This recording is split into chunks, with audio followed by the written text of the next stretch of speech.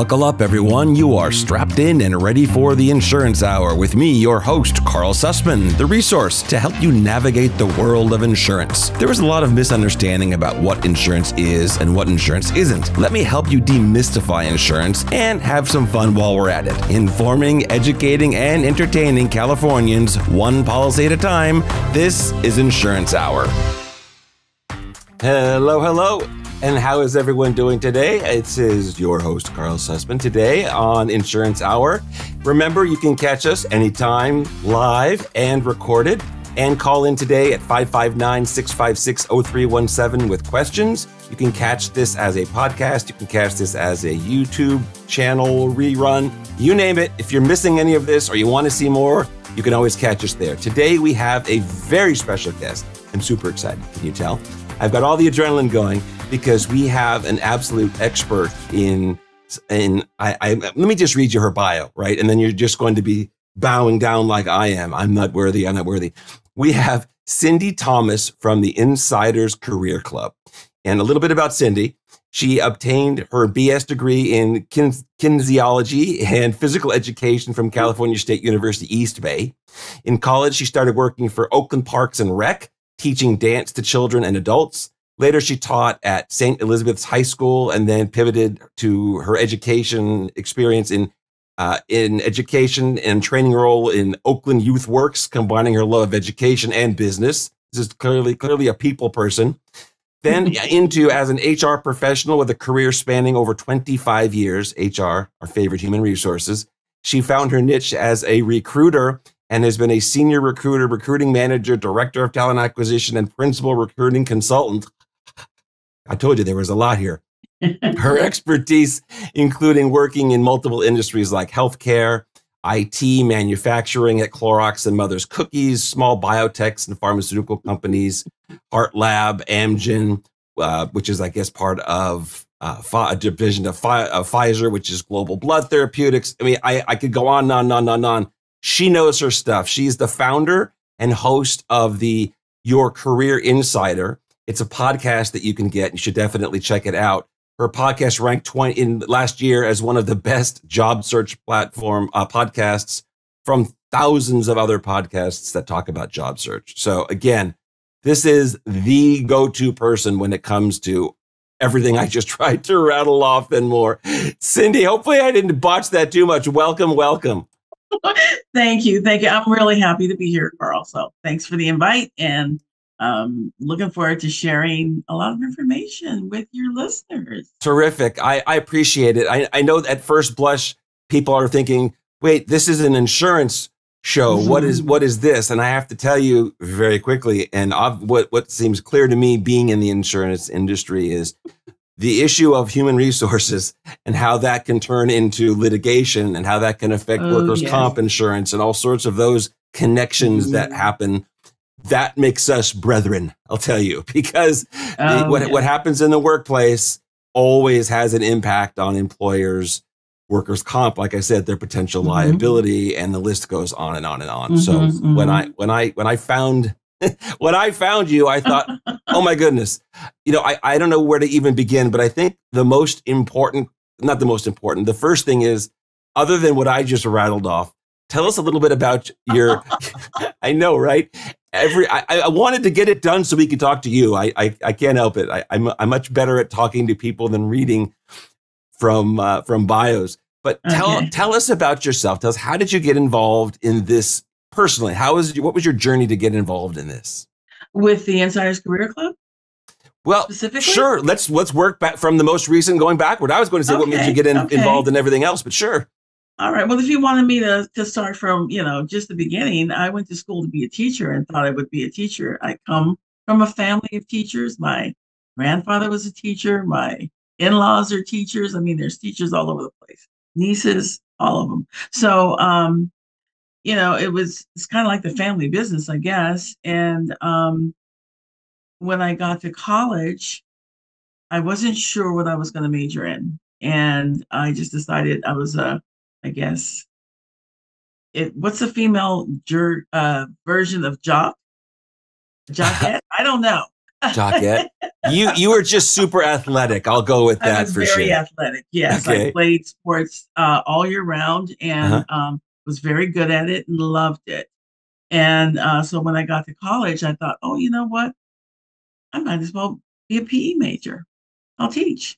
I'll be a PE uh, teacher like my one of my favorite teachers in high school. So Isn't it amazing how sometimes you remember like one teacher will have that type of an impact on you that uh, well, I continued actually to pick a career? you know, interact with her. I would go back to the school and chat with her, and because she was just that good of a person, Mhm. everybody loved her. Her name was Miss Coyne, Pat Coyne from St. Elizabeth's. I taught at the school I went to, so um, she's just a lovely person. Um, and so, yeah, that's for all you teachers out there. Just remember the impact you have on children's lives. So, a, a um, thankless job truly that Mm-hmm. everybody that we we can't we literally can't thank them enough my sister is a, a special ed teacher so I, I know the the level of work they do and the level of abuse Oh, they take is yeah. definitely not in sync with how it should be Mhm.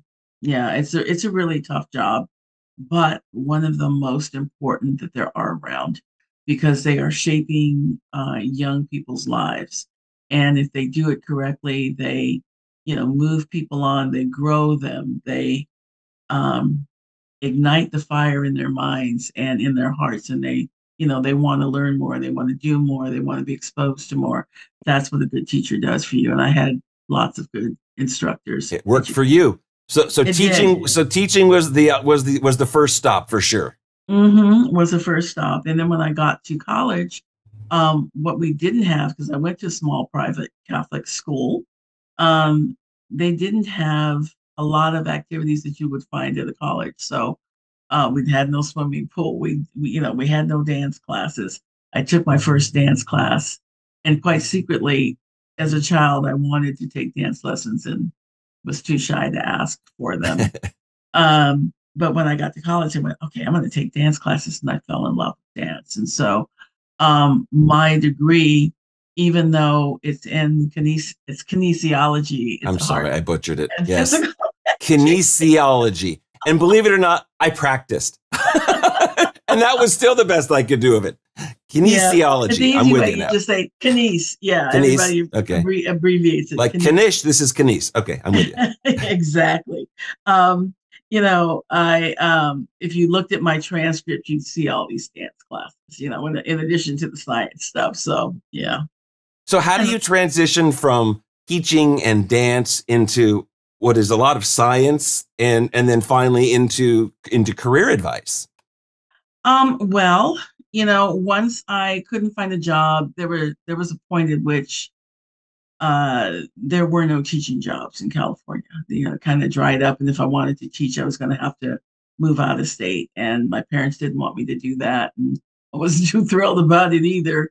And so I just decided I'd get a job. And my first job was actually with um our local newspaper here. It used to be big. It's not so big anymore. It was the Oakland Tribune and I started in their advertising department, just being a clerk.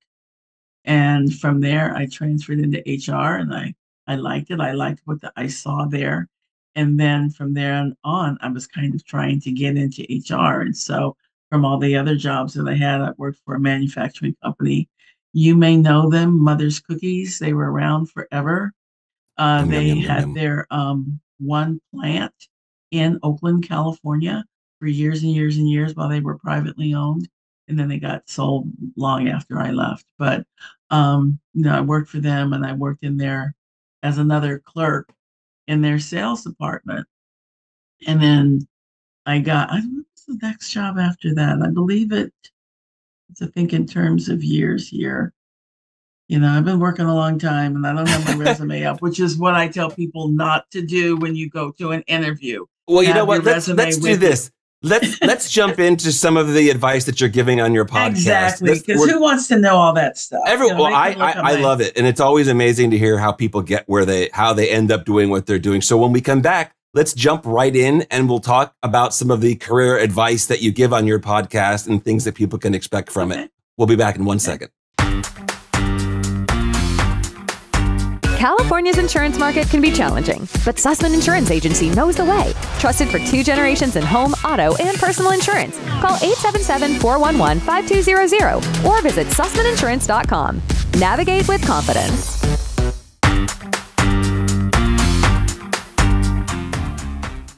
Hello, hello. We are back. We are back. Thank you once again. And again, if you do have questions, you can call in at 559 656 0317. Or are you ready for the really exciting way? You can also just dial pound 250 and then use the keyword insurance. And that gets you through too. So something new that we've put together pound 250 and keyword insurance will get you right through to us. So right before the break, I was getting us all riled up to talk about what people should do and what they should not do when it comes to being ready, preparing for interviews, preparing their mm-hmm. resume and things like that. And since we have the expert, I'm going to just put her on the spot. So Sindy, tell me what are what do you think are the most important things someone should be aware of when they're putting together their resume? And I'll even ask you one other quick thing. How do you differentiate between or is it just terminology, a resume and a CV? Or is it, um, CVs tend to be more in sciences and um, you know, healthcare, they call it a curriculum vitae. Um, but the rest of it's just called a resume, and it's not a big deal if you call it, you know, one or the other, really, because the people that are looking at it know what it is. They don't care. big deal. Yeah. But when you are thinking about putting your resume together, the first thing is you need to know what you're putting the resume together for. So you can direct that resume and have it be targeted to what you want. And when you are writing um, your resume. There's different styles, and I I won't get into all of that because that's a technical piece. You can find that online somewhere. You can actually go to my website, which is the the name of my um, podcast. My website is www.insiderscareerclub.com. And I have resources there that talk to you about interviewing and putting your resume together and job search. So um, if you find things that I'm saying here interesting, you can go there and you can find even more. And definitely subscribe to the podcast because I assume there's all sorts of fresh and updated info that that comes through there. We'll definitely be putting a link to your to the podcast and to the website in the show notes for everyone to get if they're watching this on YouTube. So tell us what what do you what do you tell people in general and not, and I and I know you could talk hours and hours and hours about it, but what are some of the things you see people do wrong when they're putting together their their resume, things that you that as a an employer might look at and just immediately shake their head or just you know I shouldn't say look at as if they're holding it right as if yeah. when they're looking at it on the screen and just click delete and move on to the next one. What are some of the pitfalls to look out for? Um, well, don't make it too long. Um, especially if you're a new entry level worker, your resume shouldn't be more than a page, really. Um, even my resume is eh, for as long as I've worked, it's uh, two pages. So, so keep it simple. You are keep it simple and put down key things. And so it's it's not writing all the tasks and duties that you have. It's uh, talking about the responsibilities that you have. So you look at the bigger picture and you write those things out. And then also, um, so each as you're I would say the best is a chronological resume. So it starts where you are and it goes back. Um, it shows your education, um, any special training you have. It has that on there. Some resumes have a, um, a, a, a statement at the top of what you're looking for. Um, so those are things. There's lots of different styles of resumes. Uh, I believe I have that on my website too. Chronological um, then you may I don't want to say that for, for people that are trying to hide things, there's a different style. well, that's another that's another question I'm sure you get all the time is what, what you know if if you've had a period of time where either you weren't working, I mean we had the pandemic, things happened, mm-hmm. or you had a job that didn't go as long as you would have thought 3 mm-hmm. months later.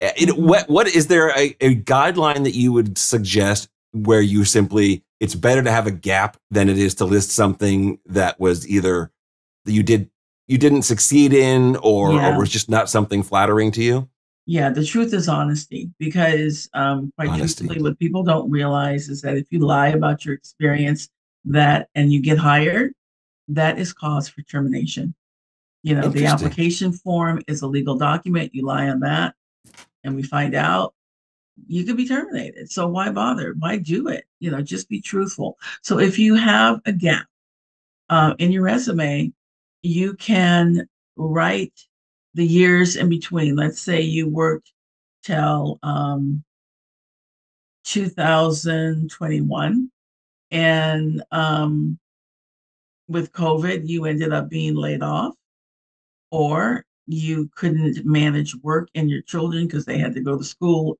at your house and you're managing that and all of the other stuff. Well, you And can't list you that as work. I think that should be Yeah. listed as a job. Exactly. And um, you uh, were also caring for an ill family member because you're part of the sand- sandwich generation. Um, you know, put that on your resume that you either were laid off or you left your job voluntarily to do childcare and to care for an ill uh, relative. So, Honesty uh, is the you know, best so we policy. know what you were doing. Yeah, exactly. So we know what you were doing. You're not trying to hide it. And actually, that speaks well to your character because you take your parenting seriously, you take your family life seriously, and you're dedicated to it. So, you know, and that works for male or female because I know that there are some males who do the same thing. The woman is, you know, their their their um, wife is working and and the male stays stays home. I mean, it works for anyone. So be honest don't try to cover up stuff um you know and just say what it is and i've seen lots of resumes where um you know it's it's pretty much spelled out when you leave a job i left this job because i took another job for a higher level position or i left this job because there was no growth opportunities and that's an okay thing to say. you can put it on your resume if you want to, or you can tell the uh, recruiter when you speak to the recruiter that's going to do a phone screen if they're interested in your your work history. So you know, be honest. Uh, don't shoot yourself in the foot by being dishonest. I It's think hard that's to remember the lies you tell. It's easy to remember the truth.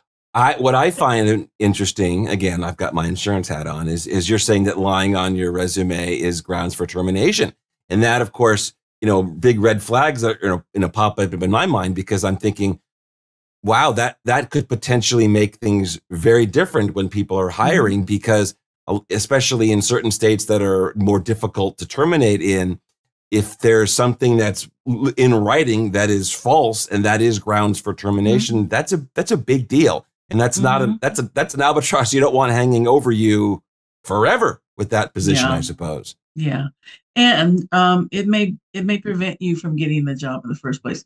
You may be in the offer stage or thinking that you're getting an offer, but when we do the background checks, you know, whatever other checks that we do, the um, um, the in, well, the background check and the reference checks, um, you know, we may find out different things, and so um, you want to be honest. Right. and that can be uh, a cause for not even extending an offer if or if a verbal one has been extended and you haven't gotten the the the you know the offer letter in in writing uh it gets rescinded. So Well, not to mention the fact that if you're representing that you can do certain skills that you can't, it's a problem once you're actually in the job. We forgot the Mhm. obvious part, right? If you're making Oh, yeah. stuff up that you can't do, then you know you're you're going to end up in a in a spot. Let let's Yeah. take the next step. So you've gotten the good resume in, and you've got the appointment to have the the interview. In your Mhm. experience, in you know we're 2024 at this point.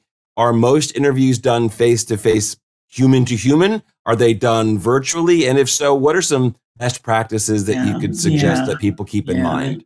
there's a lot on this so um just before i stopped working which was right when the pandemic hit and i decided not to go back and look for work and decided to do what i'm doing now um we we had these needs and so we needed to continue to hire so we did a lot of virtual interviews and then because it's very important to meet the individual that you're hiring after they did all the vetting you know after the phone screen was done after the managers and team did a um, a full-blown interview virtually then we would bring the candidate in and they would meet with you know the hiring manager and maybe their department manager or someone um, whoever was relevant at the time. And so that was what our process was Now, because the pandemic went on so long and it really changed the world of work in so many ways. I can't begin to Absolutely.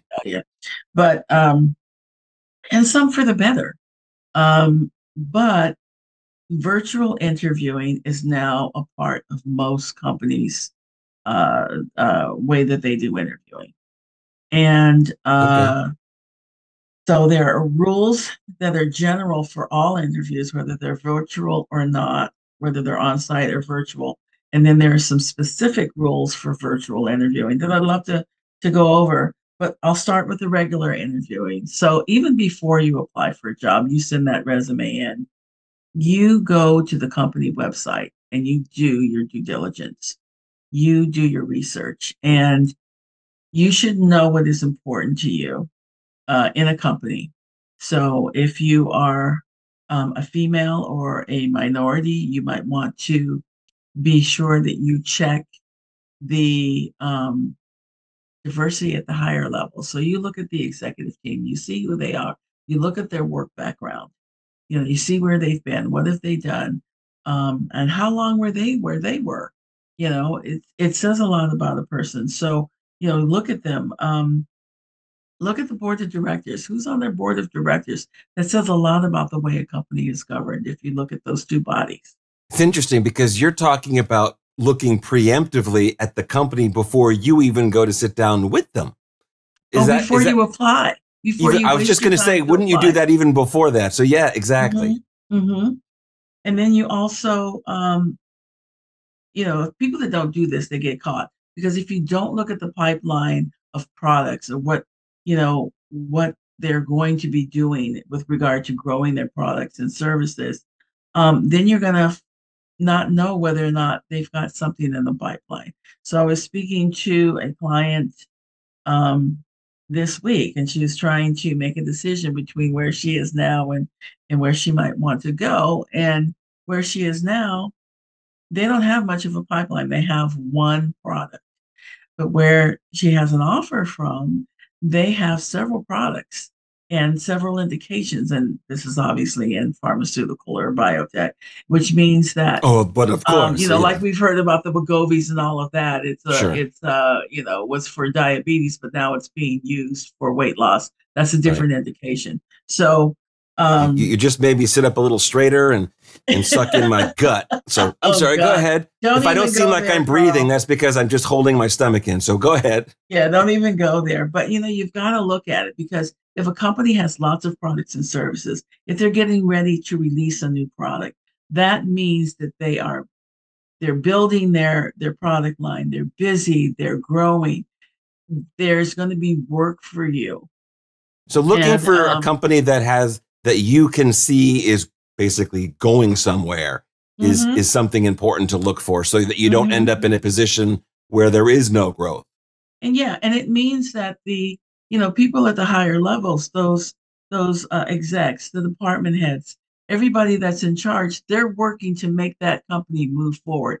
And that's the kind of company you want to be in because it's going to be a company that's growing.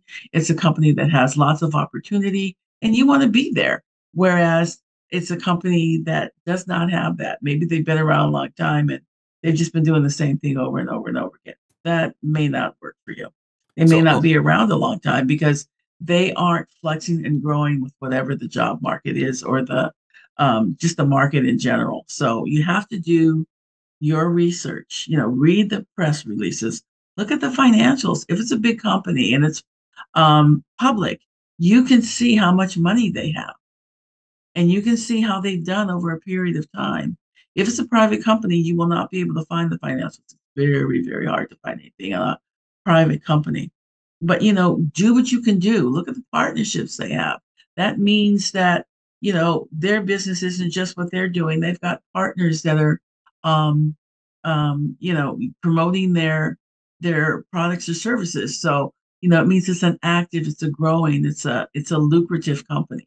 So, so those are the things you need to look at. And that's how you know that when you join a company that they're that it ha- it's stable.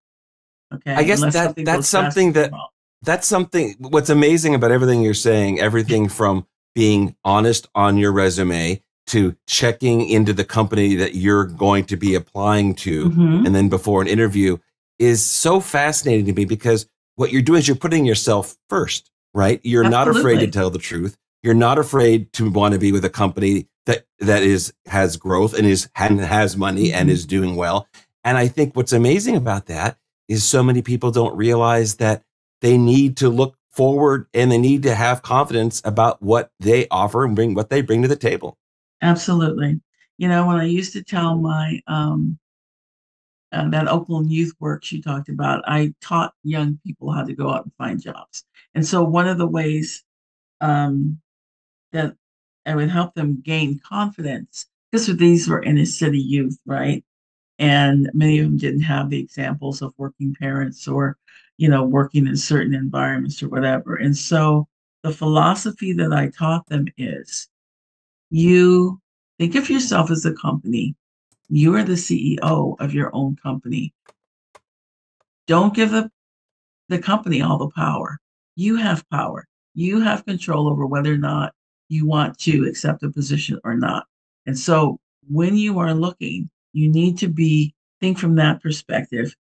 It's a it's your company, you know, your own entity, and you're going to do your due diligence and make sure that wherever you go, as long as they're being honest, you are doing uh, the right thing for you. And so that's a way to not feel like I'm so small, I'm going into this huge company. I'm going in, I'm the CEO of my own company. What are you going to do for me in my career? You're the CEO of you. Like, exactly. right. So that's the way to look at it. It kind of gives you some power so you're not feeling so helpless in the situation. So um, that's the that. first thing that you do. So you do your research, then you look at the job description. And as you are reading it, you should uh, pinpoint your experience that you have that aligns with that job description. So, um, you know, in other words, don't apply for something that you aren't qualified for. Because if you don't have the experience as you're reviewing it, then don't apply for it because it's going to be a waste of your time. And you're And setting you're setting yourself up for failure. You're setting yourself up for frustration. And even if you get hired, you're setting yourself up as we as you've mentioned now to be easily let go Mhm. at, at worst, or even worse, in a position that you don't know what to do in, which nobody likes to have a job that they're not comfortable because they don't know what they're doing, let alone Yeah. if they were supposed to know how to do it, right? Yeah, yeah. I mean, there's always going to be challenges whether you know something or not. There's always new things. But if you go into something and you've lied about your experience and you got hired, sooner or later, you know, the the proof's in the pudding, you know, it's going to surface that you are unless you are just a genius. So no fake it till you make it. Like that. I, I've heard Yeah. that so many times. Just fake it till you make it. You'll learn. They'll teach you on the job. Just get in, get your Some foot in the door. you- That's I mean, there may be some things that you can fake it till you make it about, but if you don't know how to do the job, I mean, I can't go in and bluff my way and be a brain surgeon. I mean, that's not going to happen. You thank know, goodness. you can't. Uh, you can't just learn that. You have to go get the training. Um, and if I was a patient, I wouldn't want to have that person operating on my brain. Probably not. Probably not. So, you, so you've done your research. You, you've, Mhm. you have, you've been honest. You have the interview scheduled remotely, which is Mhm. sounds like that is the way. Give us some tips for when you're setting yourself up to have the the interview over Zoom or Okay. whatever uh, Okay. platform that might be. Talk a little bit about how should you dress, where should you look, what type of oh, background, I've got things a like whole that. list for you, Karl. Yeah, So it's phone screens and on-site interviews. Let me take care of that first, and then we'll go to the virtual because it's it's pretty long, and I want Okay. to make sure that people um, know that. So for on-site and phone screens, for your phone screen, you prepare as you would for an on-site interview. You know, do your research, do all of that, have your questions um, ready for them. Um, just be prepared. Um, you should have several examples of your work that demonstrate how you have used whatever skills they're asking for and how you did it successfully. And then you will be asked um, typically why you're interested in this company in this role. And because you've done your research, you can say, "Oh, I'm interested in your company. I, you know, I I know about your products. I like what you're doing. I know that you have a pipeline. I like your executive team. That shows the recruiter that you have done your job and you're you are truly interested. You're not just applying for a job willy nilly. Um, you should also know what your salary requirements are um, because even though the recruiter cannot ask you that in California, where we are, um, you need to know when you're looking at that job description because now it has the salary on there. Is that going to work for you? Don't apply for a job that does not have um, the parameters of salary range that that will work for you in your particular situation. Again, Um, setting yourself up for failure. If the, if they're offering X dollars and you need X plus Mhm. ten, don't think you're Mhm. going to be able to finagle them or convince them with your charm. Not give you that necessarily. I mean, you know, salary negotiations are just that. But um, you know, you're not going to be able to negotiate um, unless you really have the experience um, from a, an assistant director level to an executive direct, director level role. You know, the jump in salary from that. So, um, and then the other thing would be if I, as a recruiter, if I looked at someone that was a executive director and they applied for a much lower level position, I would wonder why they're doing it. You know, Interesting. Interesting. I would so, wonder so be careful of it. being overqualified for certain Mhm. positions. hmm unless you say, you know, I am taking a step back. If you do in your cover letter, if you do one, I don't necessarily um, believe in cover letters because they don't necessarily get read. So it can be a waste of your time. I know other people purport that you should do a cover letter, but I don't necessarily. I think, you know, we want to see the resume. We want to see what you've done. Don't tell us what you've done. We want to see what you've done on your resume.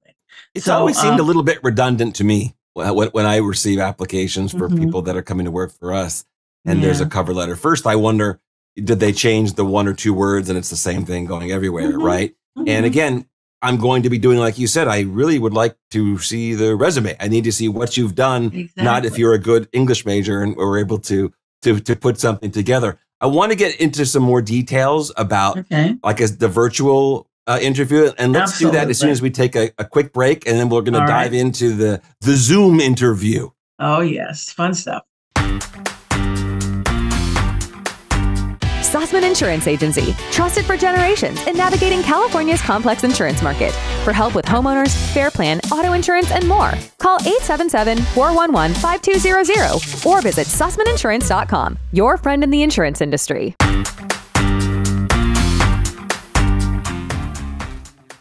Hello, hello. We are back, and we are here with our special guest, Sindy Thomas, who is giving us all of the career advice and little little tidbits that we don't know that we should know.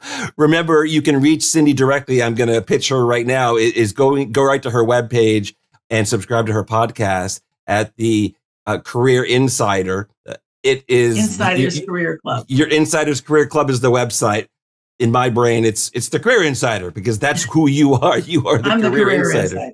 Yes. We'll have a link in the show notes, and you can also contact, and now I'll get this right, her by email at uh, sindythomas99 at gmail, and that's Sindy, S I N D Y, which I will never forget because I spelled it incorrectly maybe half a dozen times before. So before the break, we were just going to get into some some tips and tricks that you were going to share with us about the virtual interview, the the camera on the desk, and what the, and and how that works. So okay. the, the floor is yours. Give us all you got. All right. Okay. So first thing up, make sure if you're interviewing at home, make sure that your computer is up to the task. Make sure that you have downloaded Zoom, you've downloaded WebEx, and um, make sure too that your battery is charged and you have an uh, external source of supply of energy. So either plug that little computer in or have it handy so you can do that. I would just plug it in so you don't have to worry about it. That's one thing. Interesting. So don't let so don't go dark in the middle of the interview. I suppose yeah, you that's can be important. Talking and boom, you know, you just die because there's no more energy. You don't want that. Right. And that's showing lack of planning, no matter how good you are, right? Exactly. Exactly. And attention to detail. Yeah. So, and then look at your space. Um, you know, if you are in a room that is used like my little office is for a bedroom at night, for um, you know, other relatives, or um, it's the playroom for your kids, make sure that it's neat and tidy. You know, that says a lot about you. You're sitting at a computer looking at an interviewer and they're doing the same thing, but they're also checking out the background um, that's behind you. So make sure that everything is neat and tidy, uh, that you don't have whatever books you may happen to have out are titles that um, would be pertinent to a work situation or you know it's not pornography it's not anything derogatory make sure that you've got that handled okay? You, you don't want you, you're not suggesting that they go as far as put banners up for the company's name with little hearts around them and things like that? No. Okay. No. well and But where do you where do you what do you think about that about that environment? So home clean and neat and appropriate background is is Mhm. acceptable. Do you and if you think that can't do that they can do a virtual they can do a virtual background. Do you think that it's looked at with a jaundiced eye if there's something that's being manipulated, like using a virtual background? No, no, because companies use virtual backgrounds all the time. So, um, no, I don't think so. It just says that you know you you value your privacy and you want to have this background, and that's fine. You might want to have the background of being in a conference room or being in a library or you know whatever, but um, instead of rather than being at the beach. But um, you know something that is professional. Yeah, Something, something tasteful. That's right, because everyone started out the pandemic on Zoom, and everyone had the same beach scene background. I can't tell you how many Mm-hmm. times I saw the same, you know, default Zoom beach background. It be, it was right. I was. It became comical because we were Mhm. all at the beach. Sure, actually, we're all locked up in our houses right now, but Yeah. this is this is the background we all selected. What I, I have the image now of somebody creating a special background for a company where in the background they put, you know, their names, comma, president of that company's name, you know, Oh, something right. cute, That- something cute like that. I I would probably get a kick out of that as an employer, but I I, I guess everyone has to do what they're comfortable with. So Yeah. virtual is okay as long as it's professional and it's not yes, silly like at the beach. I think that makes a lot of sense yeah, and yeah. or or whatever you have if you have the choice between your bedroom let's say that's neat and tidy or perhaps if you have an office environment you have a home office or you Mhm. can go to a friend's uh, place of employment and sit at their desk Mhm. do you think one or the other makes a difference Um, you know, very often people live in one bedroom apartments. So maybe, you know, your your husband and your toddler's in the living room, so you can't interview there. But if you're um um interviewing in your bedroom, just you know, try using the closet or try using well, windows aren't so good because that's behind you and it distorts the picture a lot. But try to find a wall that um is kind of basic. You know, oh you didn't mean go in the closet you said No. toddler and i thought you were saying escape the noise go hide in the closet and do the interview you meant as a background all right i understand Yes, exactly. Let's not Okay. stick your toddler in the in the closet. Uh, other tips, other tips are make sure that your um your camera and your um laptop are elevated so that you aren't looking up like this and you're not looking down. You want to be looking straight forward at the interviewer because interviewing virtually um it it creates certain uh obstacles for you to overcome if you're in a room with someone, you get the feel of them, you see them, you can reach out and touch them, but you can't do that virtually. So you need to need to be able to make the connection as best you can. So look at your interviewer. Um, you may not want to look at their eyes. I have a, a habit of looking people dead in their eyes. So I guess some people aren't. give them the death I- I stare you're looking at their I soul don't do the death stare, but I do check from time to time. But if that makes you nervous, you can look right uh, at their forehead, and it still looks like you're looking at them. Um, so that's another tip. Get a lot of rest, so you're well rested, and you can think on your feet. Because if you're tired, you're not going to be able to to recall the things that you want to recall when you need to. Um, make sure that your background noise is as quiet as can be. How important is how important do you think the audio factor is because you know you know you do a podcast i do a radio show we we do Mhm. and we i know we we go out of our way to be sure that the sound is well at least as good as we can get it right Yeah, and yeah. do you think that there's a, a psychological aspect so if you're interviewing if you invest eight dollars on on a little lapel mic, maybe from Amazon to plug into your computer, so that you really have there. There's not so much background noise, and that you sound more. You sound clearer and more Mm-hmm. professional, perhaps. More Do you think that's a worthwhile thing to do? Sure, absolutely. It's not something you have to do. I mean, some people have very um, commanding voices. Men have more resonance and, and bass in their voice, so they may not need to do that. But a, a woman that speaks really softly might want to do something like that. That's an hmm excellent suggestion. Um, you should also put your cell phone on mute. And if you actually happen to have a home phone, uh, turn the ringer off. Interesting, At your right? desk, at your fingertips, you should have your resume, the job description, your list of questions. Anytime you interview with someone, you need a list of questions. What type of questions would you would or do you think are appropriate to ask? Um, questions about the job, questions about the company. You can even ask the interviewer, well, how long have you been here and how do you like it? And um, you know, what does your department do? How do you interact with this role? I mean, those are valid questions. So it just gives you a better understanding of what's going on uh, within the company. These are things you wouldn't know just from reading the job description. You should also have water, a pen and paper handy in case you want to write something down, some Kleenex. Um, What to Just so start that- crying when they tell you how how silly you are? Oh, hold on, blow your nose. or if you sneeze, I mean, that can happen. Right. Um, So what you say that can happen, and, and, of course questions pop in my head. So let's let's talk about the times that stuff doesn't go the way we want. So you're uh, in an interview, you're in a virtual Mhm. interview, and the dog is barking. Let's just pick something simple and benign, right? I'm a dog lover, so of course I would stop the interview and I and and I would look at the applicant. I'd say, "Oh, let me see who you have. Let me see who you have." I would get all excited. But mhm. what what should the average if someone's applying and something does go wrong? Let's just say a dog starts barking. Acknowledge it. Don't acknowledge it. Say, Mhm. hold on. Go put the dog away. What what is the Um, best well, way to deal you- with that? if you could have put the dog away, you should have put the dog away before the interview. But maybe you don't. Maybe your dog is like my dog. My dog likes to be with me 24 7. He follows me around the house. He lies in here when I work on a daily basis. But when I do do podcasts, I bring him downstairs. My sister takes care of him and we give him treats to keep him quiet. Um, but you may not That's a that lucky dog. Yeah, he is so spoiled. Anyway, um, uh, you know, but sometimes I forget. I have done podcasts because he can be very quiet. He's just lying here, you know. And he Um, just sneaks in.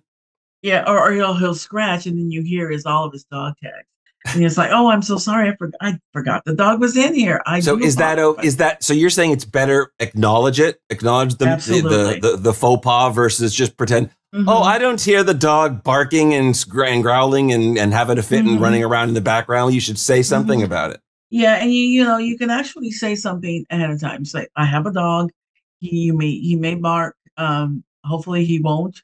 or I have a child that's in the other room, but you Hopefully know, they won't bark they, either. might come in. So I just want to alert you to that, and um, if that happens, we'll take care of it. Interesting. you So preemptive again is, is to Mhm. let them know in advance if you don't have the confidence that that you will be able to secure a quiet environment for Exactly. whatever reason to give them a heads up about that up front. That's great advice. Yeah, yeah. I remember. I mean, in, even not just in interviews. Let's say you're working. If you're working and your child is yelling and screaming, I had a call with one of my managers, and it was the most. I don't want to say distressing, but it was annoying for sure. Her child screamed throughout, and she must have been right by her side, just And she never said anything about it. she never put her microphone on mute. She, you know, if that's happening, put your mic on mute until you speak so that the other person doesn't have to listen to it. It's annoying and it's rude. So, um, you know, keep those things in mind. It's all about the first impression. And by the way, you know, you got about five seconds to make a first impression. So you got to come out strong and um, dress the way that you should dress. If you Oh, you beat me to the punch. Talk to me about about the attire. the But, but actually, before you do that, take one second. I have to tell you a story that you will appreciate. okay. I was speaking with the second at uh, second in command, I guess you could say, the VP of an insurance company during the pandemic. This is someone that normally you don't talk to in general, but we were talking about some strategic ideas together. And he's in his backyard and he's sitting in his chair, and we were, you know, we were on Zoom together. And in the background was his son playing with their golden something, some Retriever, type of whatever. and this dog is basically mauling the child playfully, but it was like Uh-huh. a scene from Airplane. He they're rolling around and and his mouth and you snap snap and the kid's laughing and falling and and the and the and here's this very professional you know executive and he's sitting there talking to me. He's wearing a tie. This is early pandemic, right? He would still try and dress nice. And he's in his tie and we're talking and I'm and I'm literally trying to not say something and I couldn't decide. So I actually I'll ask you too if should you say something if you see something like that like you, you, mm, you maybe want to just turn around because your son is is basically being you know made into kibble or or do you Mhm. just if it's on their end you just ignore it Well, you know, there's a power struggle there. You know, there's a difference in power. So you have to take that into consideration. If I'm speaking to my as a VP or um, the CEO of a company and I'm on Zoom and that's going on, um, I may not tell them to knock it out, but I might say, Is your child okay? Well, take a minute and check in on your child because it looks like they might not be okay. And you can take it from that perspective and they might catch the hint. If they don't, then just leave it alone. and just enjoy the ride all right Yeah, sorry I, I didn't mean to take you on that tangent That's but every time we talk about zoom interviews or anything along those lines with with high end people i always remember that story so we were talking about dress all right so Dress. talk to us Very what is important. appropriate Yeah, before we run out of time. Dress is very important. So um, you can ask your recruiter, what's the dress like? How should I dress? You know, is business casual okay? If there's any doubt, dress up. You know, you're the one looking for a job. The interviewer has a job. Think of it that way. You know, present yourself in a manner that's going to get you the job. So that's I like that. When in doubt, dress up. So you Mhm. think that it's always better to be overdressed than to show, because again, we're at home.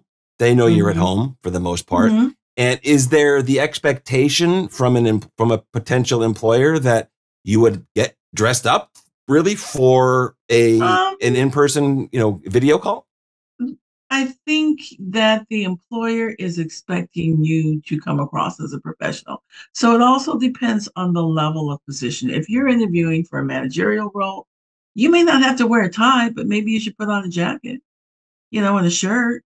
Um, Mm-hmm, mm-hmm. so yeah, you don't have to put on a full blown suit, but you know, make an effort. And what that shows is, and it also depends on who you're interviewing with. You're interviewing with senior level people, dress up because you know it shows respect. It shows Right. that you're a professional Right. and you respect them enough to dress up, and you want them to look at you as a professional. So and that's very important. So give us some of this. Uh, give us some details for for men. What what is appropriate? Is it a tie always? Is it a a button down shirt? Is it a polo shirt? How what level would you say is you know, it safe? could even if if you're at home and you're putting on a suit jacket, it could be a polo shirt. But it also depends on the industry because if you're in tech, they don't dress up necessarily. A Right. nice shirt, a button-down shirt, one or one that is not, and a pair of pants, khakis or whatever, um, is appropriate. Even jeans are appropriate. Uh, well, nobody I- can see from the waist down. I wasn't even going to Yeah. go there. I don't know Yeah. what people are wearing from the waist down. I don't want to know what they're wearing from the waist down. yeah, in some cases, yeah.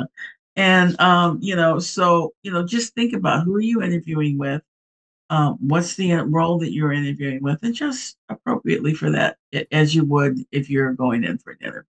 So dress as if you were you had that job. If it's a tech job and they tend to be more casual, you still want to you want to still dress up. However, you don't want to be ridiculous. You don't want to make them feel you don't want to wear a suit because the CEO is not going to wear a suit. I, I spoke to a CEO of a startup the other day. He had on a, um, it wasn't a hoodie, but it was the um, a Sherpa pullover. Mhm. You know, so um, and I think I had mine on too. So because that's what I wear around the house. It keeps me warm, but um, you know, it just depends. And we were just talking as just getting to know each one another. I wasn't applying for work or anything. So it's um, it's a lot easier for men. I will say that. My I, I have jokingly is. said in the past that for me, if, if there's reincarnation, my my reincarnation hell would be to have to be a woman because I would never be able to figure out how to dress. I would never be able to figure any of that out. So give us some yeah. uh, give us an idea of what would a woman how how should a woman dress or the, is it same pretty much the same guidelines? Well, yeah, she can wear a nice blouse. She can wear a nice sweater like this one if it's kind of casual, or she can wear a suit jacket too if she's interviewing for a um a higher level role. And the, and is the and does the the mantra better dress up than dress down the same for a woman? Yeah, the same for everyone. Same for everyone. Mm-hmm. Same for everyone. And so you know, as as we get ready to, to, to wrap up, you you've been such a wealth of information, and I, I I can't tell you how much how important this is. As an employer, I interview people, so and there are some things that I could tell you that are just immediate. Eh, it doesn't matter. I, I don't care how perfect they are. Once X, mm-hmm. Y, or Z happens, I'm I'm done with it. And I think what people need need to do is to invest the time to talk to people like you that have the expertise, mm-hmm. that have the experience, that can really coach them through the process because it's such a competitive environment right now. So yes, competitive it it that you, like we talked about, I don't remember if it was before we came on or not, you have to do everything humanly possible to stand out from the crowd. And, and with that, I want to thank you so, so much for being with us today and I will put all of your contact information spelled correctly on the uh, on the video link and on the podcast and, and everywhere else. I, I, thank you so much, Sindy, for being here. Um, Karl, I appreciate the invite. It was fun. Thank you so much. My pleasure. Thanks again.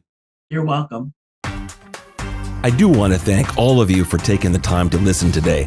I know insurance is not necessarily the most sexy concept, it's not the most exciting thing in the world. It is important that you understand what it is you're getting, what you should be looking for, red flags, you name it. You just need to know more than you used to. Things are more complicated than they used to be. If you have any questions, please reach out to me directly. You can email your questions to questions at insurancehour.com or call and leave a voicemail at 559 656 0317. Educating and entertaining Californians one insurance policy at a time. This is Insurance Hour. The show is dedicated to Shamrock Papa.